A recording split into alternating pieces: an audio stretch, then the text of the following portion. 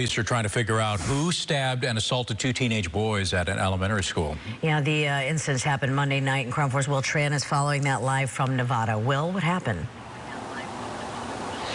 Okay, so here's what you need to know. The Novato Police Department, they are working with the Novato School District just to make sure that the kids at Lynwood Elementary School, let me pull up a map for you. It's located about a mile and a half from the police department.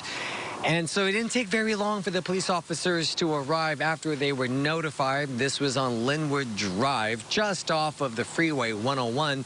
When they came out there at around 6.50 in the evening, they realized that two teenagers, as James said, they were stabbed. Now, this happened hours, of course, after school let out, but I can tell you that they're very fearful of it possibly being connected somehow to the elementary school, and that's why they're stepping up efforts to make sure if you're a parent of a Novato Elementary School kid at Lynwood Elementary that you will feel safe.